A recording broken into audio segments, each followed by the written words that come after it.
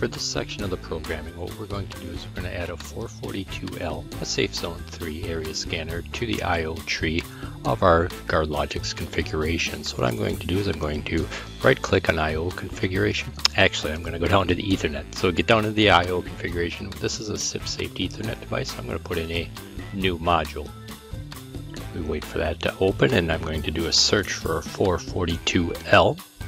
We have one safe zone multi-zone CIP safety scanner. We're going to create that.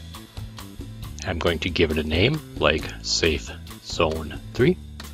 And we're going to give it an IP address that's better match what we configured earlier using our bootp utility. So it's going to be a 192.168.1.3.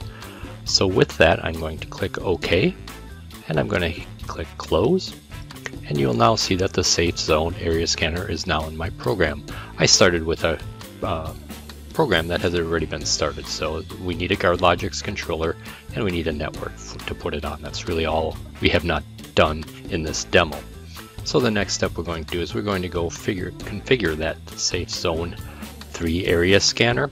Everything's going to be good here. I always just work down connection, uh, make sure that your inputs and your outputs are going as fast as you want them to.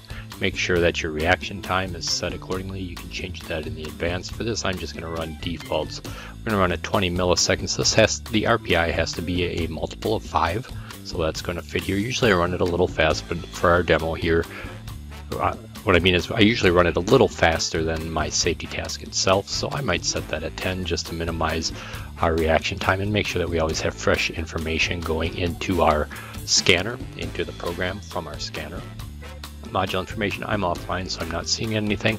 The next real thing here that I want to do is I want to launch the field set configurator within the GuardLogix programming environment. I'm going to double click on that and that will spool up.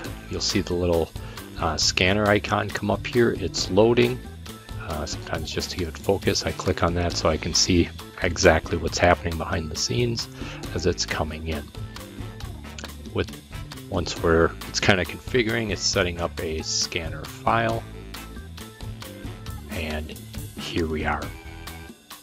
So we'll start here with the next module.